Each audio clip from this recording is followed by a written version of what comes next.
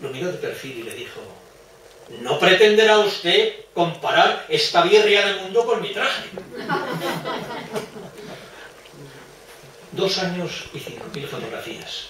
No voy a decir lo de no comparen esta birria de mundo con esta guía, pero esta guía tiene muchas cosas que no tienen otras guías, por supuesto la información exhaustiva, meditada, y tiene además una forma de escribir que solo puede escribir un poeta y alguien que ha registrado y recorrido minuciosamente cada uno de los rincones de esta magnífica Segovia.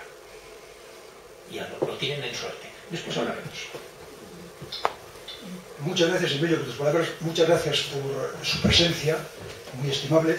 Y vamos a entrar en materia con cierta rapidez, haciendo hincapié justamente los elementos diferenciales que puedan distinguir a esta guía respecto a otras publicaciones similares.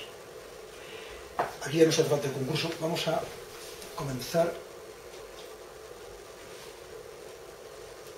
en, justamente en presentador de ICA. Aquí, Bien.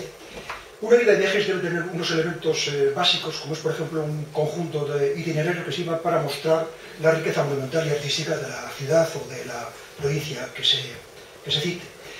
Y luego debe tener también un apartado de informaciones eh, complementarias donde se puede hablar de la historia, de la gastronomía del arte. Y luego un último apartado de informaciones prácticas donde se hagan recomendaciones de alojamientos y de restauración y de compras típicas. Esta guía tiene esos elementos básicos, pero tiene unos elementos diferenciales que vamos a ver ahora. El primero de ellos es un capítulo de aproximaciones visuales, porque hemos entendido, tanto el autor como el editor, que Segovia es una ciudad que hasta ahora se ha, recorrido eh, por dentro del dédalo de calles y plazas que tiene, decir, se ha visto la ciudad intramuros.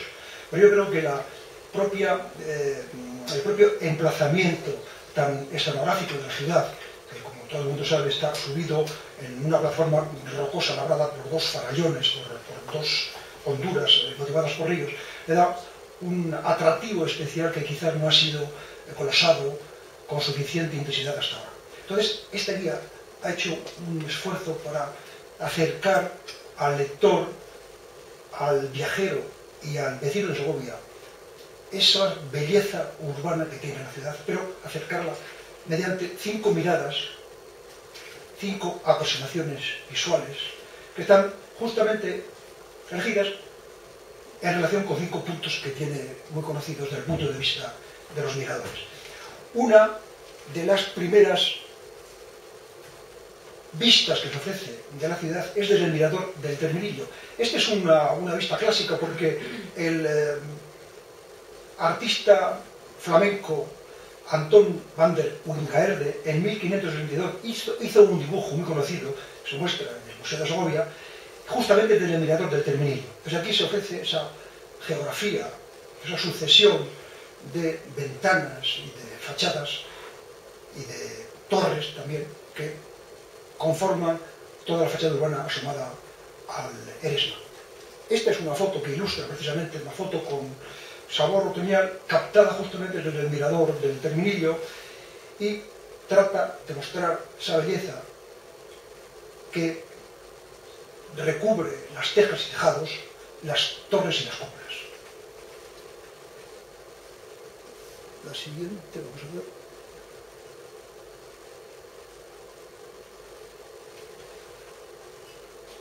El siguiente punto de observación es justamente desde los altos de la piedad. Aquí, desde este punto, se ve la ciudad como una especie de díptico que muestra a la parte izquierda de la urbe el pasado histórico de la ciudad y la parte derecha el presente urbanístico. Y en el centro, como una bisagra de granito, tenemos el acueducto. La foto se centra fundamentalmente en el fin del Via Crucis que va recorriendo desde el antiguo convento del Santo Espíritu, se va subiendo hasta los altos del cerro de la ciudad hace hincapié en la parte izquierda, la parte monumental de la urbe. Siguiente apartado, tenemos desde uno de los puntos del balcón de la mirada, como todo el mundo sabe, el balcón de la mirada es una especie de itinerario circular que ha trazado el ayuntamiento con una serie de puntos para poder deleitarse en la contemplación de la belleza de la ciudad. Aquí, este es desde las peñas grajeras, eh, cerca del monasterio del Parral, y conseguimos capturar esta fase urbana con un cielo de tormenta y con una luz específica que está asociada a la fotografía con luz de tormenta. Estas últimas luces que iluminan justamente la torre de San Esteban, que tiene, como todo el mundo sabe, un gallo de metal del cual hablaremos luego en los sueltos, que es otro elemento diferenciador que tiene la guía. La siguiente fachada urbana que se muestra es la que suma los clamores, y está tomada justamente desde el mirador del Alcázar Mirador del Alcázar es un punto de confluencia de los dos eh, valles, del Eresme y del Clamores, y aquí se muestra esta fachada urbana y también a la izquierda se ve porque es una foto tomada justamente en la última luz del crepúsculo, se ve como la ciudad en la parte izquierda comienza a encenderse, comienza a iluminarse. Bien, otro elemento diferencial que tiene este libro es el aportar una serie de fotografías de lugares poco conocidos hasta ahora en Segovia. Primero tenemos es el patio de la familia del río.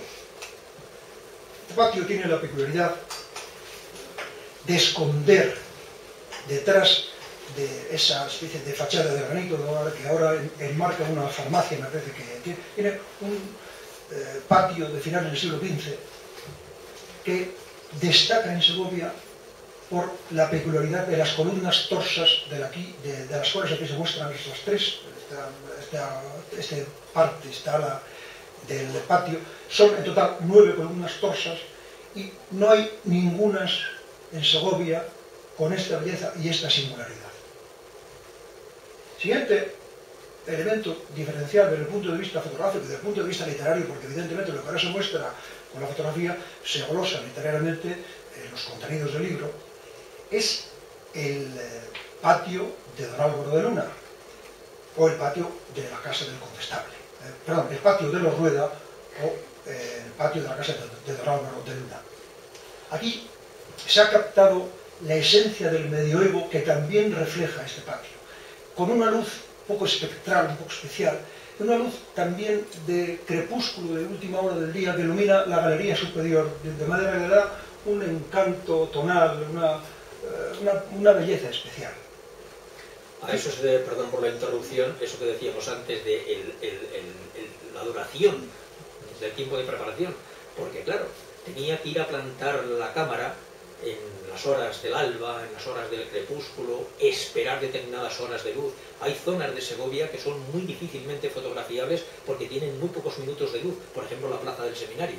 Y eso ha llevado también muchísimo tiempo porque debo hacer aquí, perdón por el paréntesis, una anotación y es que esta guía tiene 275 fotografías de entre más de 5.000 que se hicieron y todas han sido hechas expresamente para esta edición. Es cierto que hay que hacer un comentario un poco más amplio quizá respecto a las fotos que ilustran esta, este libro, esta guía. Eh, se ha hecho una persecución intensa de la trayectoria de la luz a lo largo del día, buscando de las luces rasas, luces de algas y crepúsculos son las que tienen mayor calidez y otorgan mayor eh, sensación estética a las fotos. Con lo cual, pues evidentemente yo he tenido que estar aquí muchas veces a las 8 de la mañana, 7 y media, justamente captando esa primera luz de alba o la última luz del crepúsculo con el trípode para captar ese temblor de la luz. Se ve claramente en las fotos que antes hemos, que hemos ido poniendo de manera secuencial como ambientación eh, general, ahí, eh, luego veremos alguno donde ese punto de luz está también muy perseguido, y al mismo tiempo que hay mm, variaciones en la trayectoria luminosa del día, hay también variaciones en las estaciones. Tenemos fotos con nieve, fotos de primavera, fotos de estío y tenemos fotos de otoño. Siguiendo con las peculiaridades de las fotos, tenemos justamente en el mismo patio de los Rueda tenemos también dos singularidades muy poco fotografiadas hasta ahora. Hay que decir que de este patio, prácticamente, eh, a excepción de un librillo que publicó el Marqués de Lozoya, me parece que en 1923, luego prácticamente eh, apenas se han conseguido fotos. Nosotros, eh, gracias a la utilización de la familia Cannata, pues hemos plasmado esa foto. Y también dos capiteles blasonados, que aquí se muestra este, que pertenece a la familia de los Baza, y que muestra una especie de de cruz de Calatrava y este otro también se ve claramente los blasones, esa especie de, círculos o radios ¿eh? y los dos torreones. En el libro se ha hecho una especie, un juego en la maquetación, se han superpuesto los dos capiteles estrella de modo que eh, parece una, una foto atractiva, una audacia del señor maquetador y del señor editor. Otro elemento también poco conocido y poco fotografiado en la ciudad de Segovia es el claustro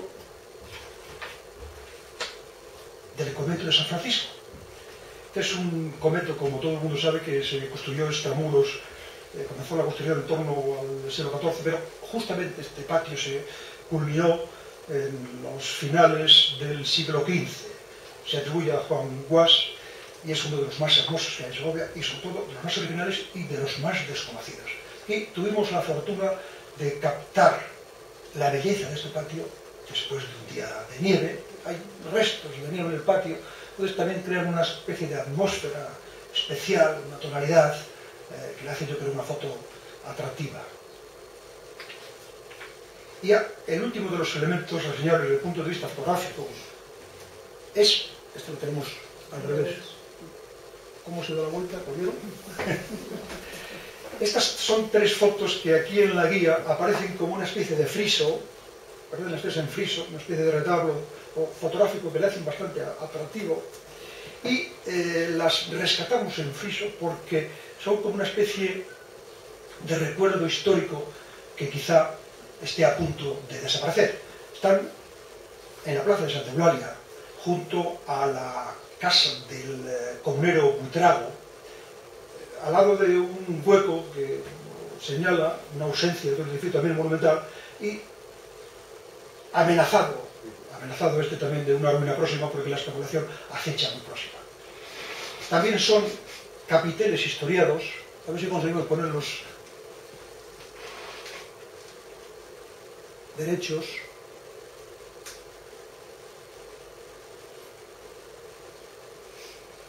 ahora, exactamente. Bien. Son el final del fuste, o sea, son tres justo, bueno, hay realmente cuatro, pero aquí hemos solamente puesto en friso tres porque son los que tienen elementos ornamentales más atractivos y al final del fuste aparece este capitel olvidado prácticamente porque esta plaza ha sufrido un gran deterioro. Se pone en los manuales como ejemplo de la arquitectura eh, popular, castellana y segoviana de finales del siglo XV. Ahora queda ya muy poco y esto es justamente del 18. Pero creo que es un elemento interesante por haber sido he logrado rescatarlo y al menos que quede como un documento gráfico de lo que digo, está amenazado de muerte. Son tres capiteles historiados con motivos religiosos,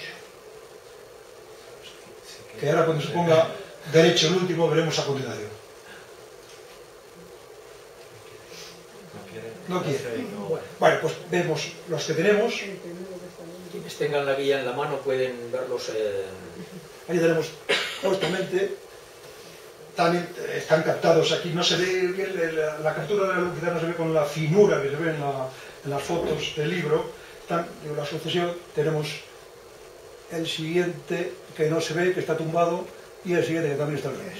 Bien, y ya pasamos al tercer elemento diferencial y singular del libro, que es el conjunto de sueltos eh, toda guía que se precie, y más si tiene pretensiones literarias como tiene esta, debe tener un conjunto de suelto. El suelto es un fragmento narrativo de pequeña extensión, aproximadamente media página, que suele estar ilustrado con una foto en la cual el autor aporta una pincelada original, una visión, un ángulo inédito eh, para ver, para mostrar la belleza o la riqueza que pueda tener la ciudad. Esta guía tiene un total de 51 sueltos, que es una verdadera barbaridad. Es decir, está hecho intencionadamente una gran profusión de sueltos precisamente para abundar en la riqueza, de, en la, multitud de perspectivas para ofrecer un acercamiento a una buena ciudad. Hay unos sueltos que tienen una intencionalidad histórica, por ejemplo este, donde se glosa el esplendor que tuvo la ciudad entre finales del siglo XV y el siglo XVI, motivada por la fama que tenían los tejidos segovianos, y el comercio de la lana. Y hemos elegido para ilustrar este suelto pues justamente esta rueca que aparece en el Museo de Segovia. Otro suelto glosa y hace hincapié en la riqueza, la riqueza monumental y artística que atesora la ciudad de Segovia. Concretamente, en este caso, las rejas de la catedral. Las rejas de la catedral están centradas en el siglo XVIII, pero es un conjunto de rejería catedralicia eh, quizá el más importante que tiene España. Aquí se han mostrado dos de las rejas más significativas que cubren justamente la capilla mayor y a continuación se muestra también el conjunto de vidrieras. Hay que decir que las vidrieras de la catedral son en total 157 vidrios emplomados, pero los más importantes son los que decoran la nave central, eh, el perímetro de la nave central. Son en total 51 vidrieras que tienen la singularidad de haber sido hechas por maestros flamencos en la primera mitad del siglo XVI.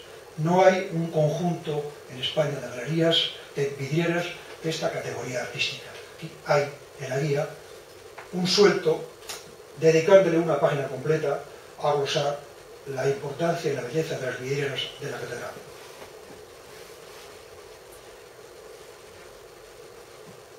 Otro grupo de sueltos acentúan ya la dimensión literaria o incluso poética con la cual el, autor se quiere acercar a la ciudad.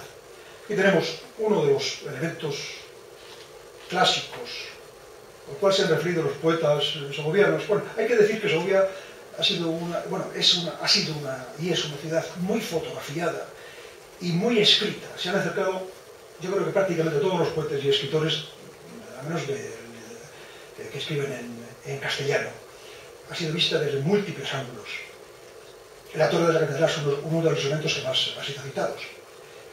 Yo también hago mi aportación personal, eh, algunos de los elementos más significativos, y concretamente esta torre de la catedral, sacamos una foto específica para mostrar ese incendio de la sillería que con la luz de los crepúsculos eh, recubre esta torre si me permiten, voy a leer el suelto titulado La Torre de la Catedral. Alto chopo dorado, en palabras de Julián María Otero, del que brotan luz y sombra, silencio y sonido. O aguja de los siglos, que al cabello del viento se ha nebrado en un poema de Mariano Grau, la Torre de la Catedral ha recibido muchas calificaciones literarias a lo largo del tiempo. Para cualquier observador, la torre aparece rotunda y solitaria, como un ordenado surtidor de sillería. Señora de las Tejas, mástil vertical que atisba la llegada de la luz y la ventisca, cuyo sea la vida diaria que discurre en las calles y los patios, en las plazas y en los claustros, en la intimidad de las alcobas, en la lejanía de los barrios. Pero no es sólo un alto vigía que tiende su mirada sobre las cumbres cercanas y la extensión de la llanura, sino un símbolo que trasciende lo fugaz y cotidiano. Más que una afirmación religiosa, la torre es una señal de identidad, un icono arquitectónico que define el perfil de Segovia. Hay sueltos que son más líricos que este, porque este es una especie de mezcla de suelto eh, descriptivo y lírico. Y lo tenemos.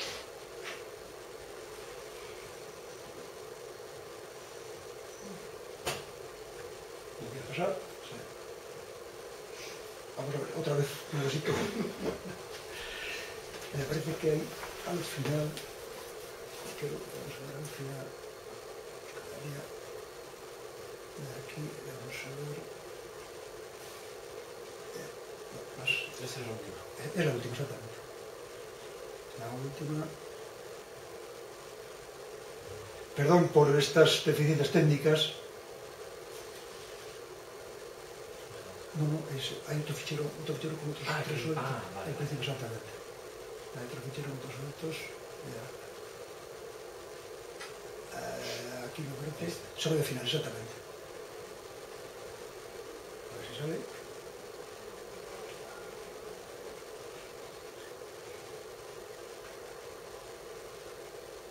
Exacto, bien, ya lo tenemos.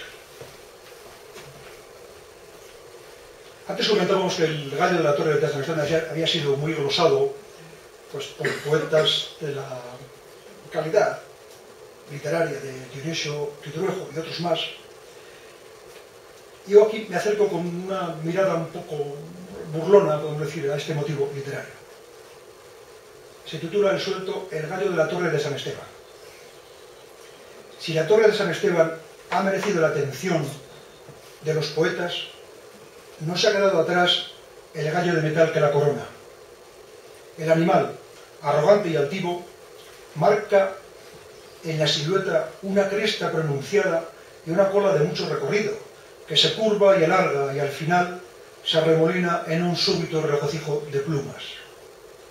El perfil oxidado, que se apoya sobre una bola de acero y se remata con el signo de la cruz, ha sido definido por Dionisio Ridruejo como el gallo sin voz, alto y herido, que canta con el hierro tus auroras.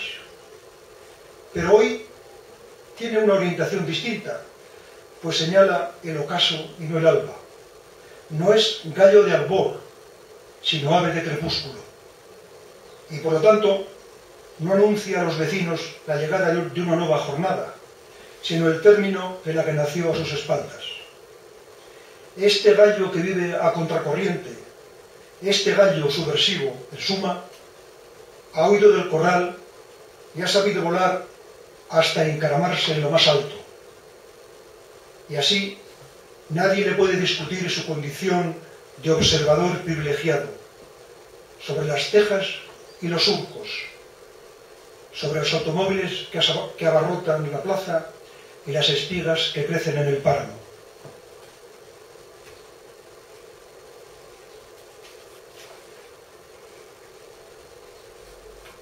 El siguiente suelto se refiere a la casa de Casa Museo de Antonio Machado. Es una casa que fue habitada por el poeta pues, durante 13 años y que se conserva aproximadamente pues, como él, cuando él vivía en torno al primer tercio del siglo XX. Aquí el suelto está centrado justamente en la alcoba. Para subir a la alcoba que llegar a la alcoba hay que subir las escaleras, atravesar un pasillo con suelos de madera cruzar una habitación anterior a la que ocupó Antonio Machado y luego se llega al final. La foto ilustra justamente los componentes que tiene la alcoba. Y el sueldo se titula La ceniza de los sueños. La puerta envejecida y la aldaba mínima. La cerradura de metal. Los clavos oxidados que, que sujetan las tablas. La ventana minúscula presente en el portal. La silla de Anea y la banca de madera otorgan sabor y olor a una casa habitada y vivida que hoy se esfuerza en mantener despierta la palpitación. La alcoba del poeta invita a pensar que estuvo ocupada por un hombre instalado en una digna y laboriosa medianía. Los suelos de madera, el cordón de la luz, la cama con el cabecero de cobre, la consola abarrotada de libros, el, agua, el aguamanil dormido en un rincón, el escueto escritorio, la mesa camilla asomada a la luz, configuran un espacio íntimo y callado donde la alegría de vivir se manifiesta en la serena aceptación de los sueños diarios y el saber refugiarse en los sueños que nunca se podrán convertir en realidad. Porque todo, la colcha y el espejo, la silla y el brasero, el sillón y la maleta, los visillos que ocultan parte de la calle, la pintura grisácea que recubre las paredes, transmite ese aire de derrota, aunque esté asociada a la imagen de normalidad, de trato amable y cordial con las cosas y los días que representan los objetos y los muebles.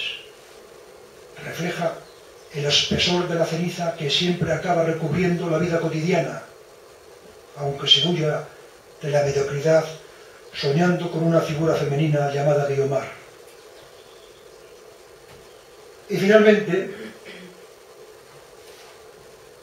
el suelto que decora una de las solapas del libro glosa la presencia del ciprés plantado por San Juan de la Cruz en el huerto de los carmelitas descalzos, está en la parte superior arriba, junto a la cueva donde el poeta se retiraba a sentir la palpitación de los versos.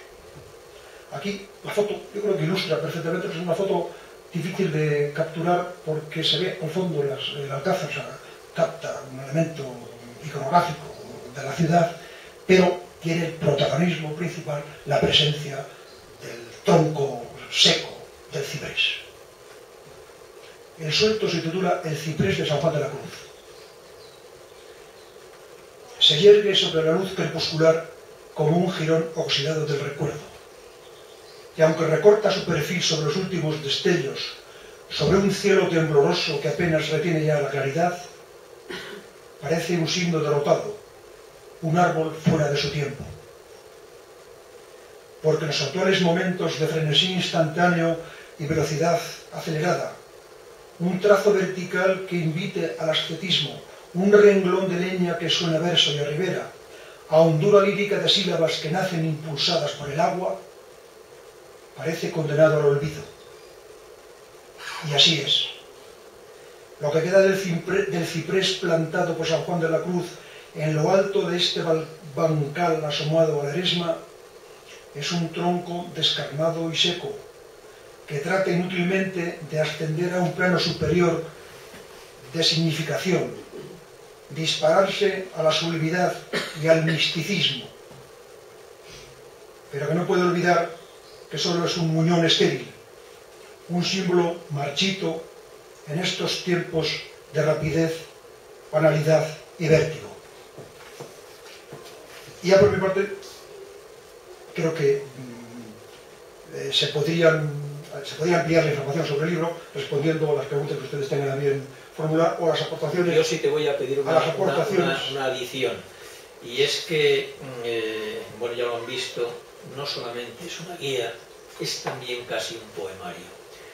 Pero puesto que es una guía, tiene otra originalidad que no hemos mencionado. Segovia es una ciudad tan rica, por otra parte, eh, con tres elementos tan visibles desde que se entra, como es el acueducto, la catedral, el alcázar, que a veces pasan inadvertidas, no solo esas cositas minúsculas que están un poquito escondidas, sino cosas que estando muy visibles desaparecen porque están un poquito atrás mano.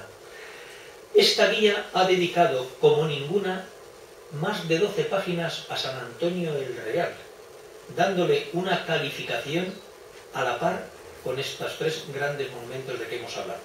Yo te pediría que hablaras un poco de San Antonio el Real, porque realmente es algo soberbio dentro de la ciudad de Segovia y que, bueno, aquí estamos entre segovianos, porque esté allá donde, donde el acueducto empieza ahora, parece que está un poco fuera del ámbito habitual de las eh, visitas.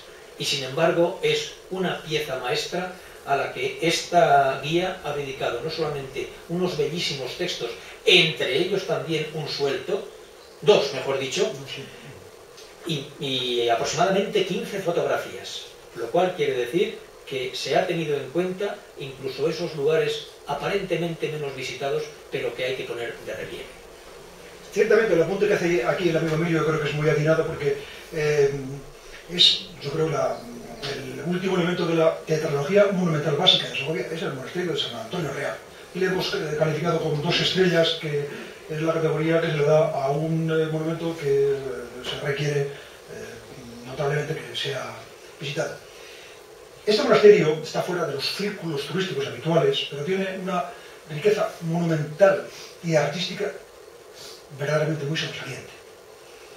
Hay que considerar que es un edificio monacal que se construyó entre 1455 y 1500. Y la riqueza eh, artística se concentra fundamentalmente en dos elementos. La riquísima colección de techumbres mudéjares que tiene y las obras de arte de, de tipo flamenco que atesoran tanto la iglesia monástica como las galerías del claustro. Las techumbres, eh, nada más entra el viajero en la iglesia monástica, queda gratísimamente sorprendido por una... Este es un artesonado, no es techumbre, es un artesonado mudéjar eh, que recubre la totalidad de, de, la cabecera en la capilla mayor, sobre un retablo barroco, un, artesón de trabajos de la cería que forman octógonos geométricos y de una gran belleza. A continuación, se pasa. Lamentablemente no tenemos las fotos que ilustren aquí, no las hemos eh, eh, previsto, se pasa a una sacristía donde tenemos también un alfaje, un alfarje mudeja de finales del siglo XV, pero con decoración de dibujos geométricos. No sé si se puede ver, aquí tenemos una foto donde se muestra la belleza de ese alfarje de la sacristía. Pero a continuación, en el claustro, tenemos otro alfarje mudéjar de gran originalidad, formado por unos casetones especiales decorados a base de estrellas de ocho puntas. La foto es mucho más pequeña, no, creo que se, pueda, que se pueda ver, pero eh, si ustedes adquieren la guía podrán recrearse en su contemplación. Y eh, además, lo he comentado, tenemos en la sala capitular, quizá sea el más interesante, el más atractivo por las dimensiones enormes y por el grado tan eh, extraordinario de conservación. Es un artesonado que mide aproximadamente, lo que tiene 6 metros de largo, es una especie de cuadrado de 6 metros, y eh, la causa de su excelente conservación es que está recubierto por eh, una capa de oro de 24 quilates. Fue limpiado y restaurado hace unos años y es una, algo realmente maravilloso y refulgente. También en la sala de los frailes, que es otro escenario que hay a continuación, otra dependencia a continuación, tenemos un, un alfarje también mudeja, jabalconado que se llama, es decir, que técnicamente tiene una serie de jabalcones que son unos, unos eh, maderos centrales, luego se van eh, los dibujos geométricos también adornados con elementos mm, eh, de flores, en este caso, se van superponiendo. Los elementos típicamente, o sea, netamente artísticos, se centran en el retablo de la Pasión. El retablo de la Pasión es una obra de finales del siglo XV que eh, se encuentra en uno de los laterales de la iglesia monástica. Es un conjunto de 113 piezas que glosan escenas de la Pasión de Cristo, talladas por un artista mm, flamenco que no se sabe exactamente de, qué ciudad procedía. Y en, los, en las esquinas del claustro principal tenemos tres retablos de viaje verdaderamente originales y únicos. El retablo de viaje era realmente un retablo que se podía transportar y tiene, además de su gran belleza artística, tiene la originalidad de estar construidos con un material especial llamado barro de pipa. También son de final del siglo XV y fueron eh, armados por un artífice holandés cuyo nombre se desconoce. Además de lo dicho, otro elemento también de grandísimo interés es el claustro de la vicaría, ahora como todo el mundo sabe convertido en hotel. Un claustro también de finales del siglo XV, es el único visitable de los cuadros que tiene el recinto monástico. Y eh, ahora que también tras la última eh, restauración y recuperación de la banda norte es de una belleza incontestable. Hemos tenido muchísima suerte con, eh, con este edificio porque las peripecias de la historia, como sabemos, son muchas y ha habido que restaurar con frecuencia. El caso de San Antonio Real es único, porque siendo, como acaba de decir, de mediados del siglo XV, ha tenido toda la suerte del mundo. No ha tenido incendios, no ha tenido inundaciones, ni siquiera por ser femenino sufrió una desamortización de Mendizábal. Uno entra en la sala capitular y ve el artesonado exactamente igual que en 1465. Es algo verdaderamente prodigioso. En cuanto al retablo que ha mencionado, es dificilísimo de fotografiar porque tiene delante un cristal y los fotógrafos saben lo difícil que es eliminar los brillos. Aquí también en esta, en esta fotografía de la que sé que estuvieron trabajando en ella un día entero, consiguieron por fin que saliera razonablemente bien se esmeró el fotógrafo para presentar las fotos de interior, porque además de lo que comenta Emilio, que tenía un cristal, tiene justamente enfrente del cristal, tiene dos huecos por donde, donde entra la luz. Con lo cual, te pongas donde te pongas, siempre se ven los huecos. Con lo cual, hubo que recorrer un artificio de subirse un púlpito que tiene enfrente y allí colocar como se pudo el trípode y así se evitaron los brillos del cristal y se evitaron los recuadros que se reflejaban en el cristal se muestra, no sé si la verán, una foto nocturna del claustro de la vicaría, un elemento de gran interés monumental y artístico. pero si tienen algún tipo de pregunta, algún tipo de ampliación informativa, con mucho gusto la podemos satisfacer. Ahora es el momento. Yo sí que me gustaría nada, pues, un comentario al, al tema de, de, San Antonio Real, que comentabas de, de, las desamortizaciones y demás.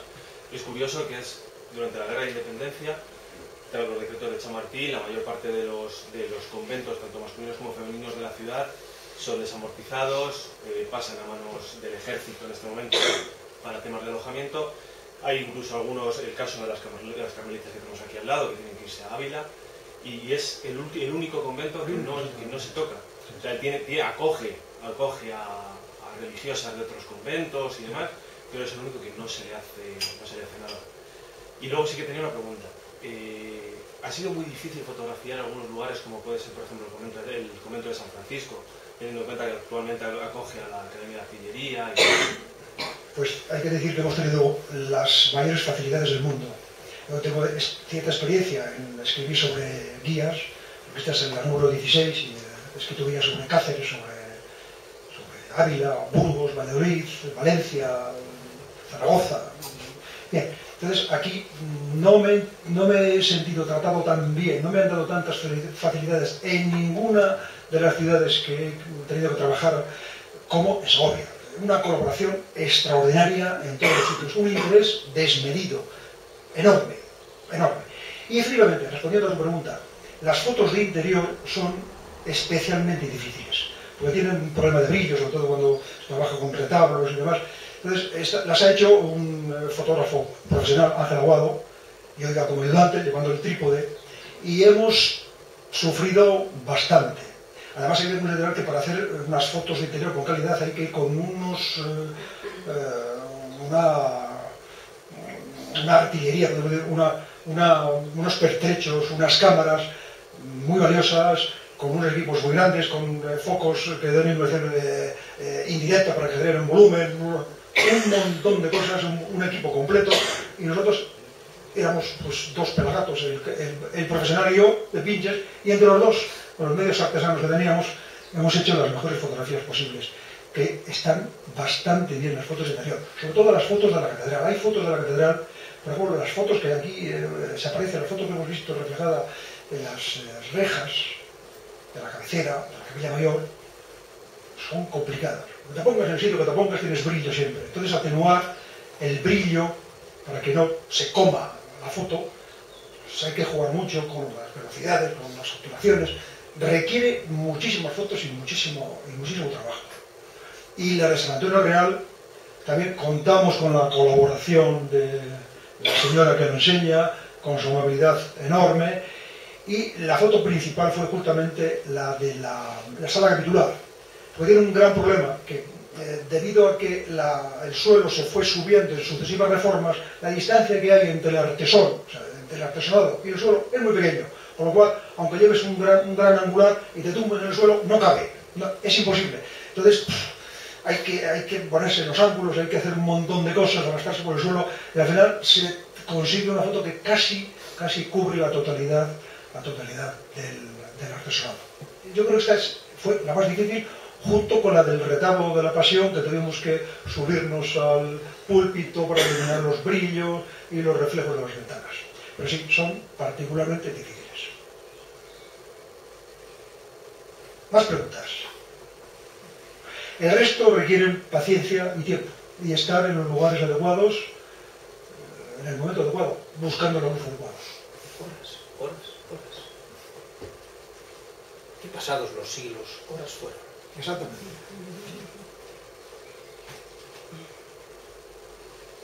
Pues nada, si no hay más, eh, levantamos la sesión cuando ustedes quieran. Ahora es el momento. Hay un momento en el Quijote precisamente en que eh, Don Quijote cansado de la cantidad de charla de Sancho le prohíbe hablar. Y Sancho, mm, que no podía estar callado, decidió abandonar a su amo. Y Don Quijote le dijo, ya te entiendo, Sancho. Y entonces le permitió volver a hablar. Y dijo Sancho, después que vuesa merced me impuso el duro mandamiento del silencio, más de cuatro cosas se me han podrido en el estómago. están a tiempo de que no se les pudra nada en el estómago. A mí más que una pregunta, que también lo es, eh, me surge un comentario. Eh, cuando vi que presentaban una nueva guía de Segovia, que ya tenemos muchas, pensé mm, que era una osadía. Eh, pero mm, quisiera saber si es por parte de la editorial o del escritor de quien ha partido eh, la intención de escribir una nueva guía y cuál es verdaderamente la ilusión de este trabajo. Deberíamos haber empezado con una frase de Borges que abre precisamente ficciones. Dice, debo a la conjunción de un espejo y una enciclopedia el descubrimiento de Ocubar. Aquí realmente se ha debido a la conjunción de dos cosas. De un autor muy experimentado en guías, de una bellísima ciudad como Segovia, que a veces, eh, y él mismo lo, lo dice, que eh, volvemos a repetir que es la, la decimosexta guía que hace, hay ciudades quizá tan importantes o más que Segovia, quizá Toledo, pero ciudades tan fotogénicas como Segovia seguramente hay pocas, si no es la única. Entonces, mm, teniendo en cuenta que Oportet Editores, que es la editorial donde ha salido publicada, es muy pequeña, yo soy segoviano, fue realmente una conjunción de muchos años de haber estado codo con codo en la universidad y en un momento determinado él dijo que quería jubilarse haciendo la guía de Segovia y a partir de este momento el resto cuéntalo tú. Pues efectivamente, la primera fue la coincidencia de pupitre hace unos 40 años, donde de manera casual eh, Emilio se sentó junto a mí en el mismo pupitre de la, de la universidad. Allí se inició una amistad duradera que ha dado muchos episodios vitales y ha, dado, alumbrado también obras literarias. Y la segunda coincidencia fue una coincidencia de intereses. Yo quería poner fin a mi trayectoria como escritor de guías pues abarcando, abordando una capital, una ciudad que tuviera riqueza monumental, artística y que fuera patrimonio de la humanidad y que no estuviera demasiado lejos de Madrid, por eso de los madrugones y las visitas. Entonces, pues coincidió mi deseo con el deseo del segoviano ilustre aquí presente esa coincidencia doble ha alumbrado este libro. Y este libro ha sido hecho con pasión y con entusiasmo. A mí me gusta escribir, me gusta el arte, me gusta la fotografía, pero en este libro, por ser el último, yo creo que puesto un plus especial, una dedicación especial y yo creo que se nota en la escritura, una quizá calidez especial y al final, pues cualquiera que se asome y se adentre, que pasee por estas páginas, notará que hay una especie de, mm, fervor, de, atmósfera literaria que impregna la totalidad de las páginas del libro. Creo que es perceptible. Se nota que está escrita por un poeta, pero que ha puesto la última rúbrica en esta obra. Debo añadir algo más. Lo habitual es que sean los editores quienes intentan frenar a los autores, porque llevados por el afán del suceso empiezan a soltar, a soltar. Debo decir que yo he sido el primer seducido hasta el punto de que teníamos un presupuesto y un número de páginas determinado, 240, que es múltiplo de 16, y yo veía las fotos, veía los textos, intentábamos, no, esta foto hay que ampliarla un poco más. Y me decía también con una frase del Quijote, mantén a raya tus naturales ímpetus. Y aún así, se nos fue 16 páginas de lo original y en este momento tiene 256. Hasta en eso hubo conjunción de espejo y enciclopedia.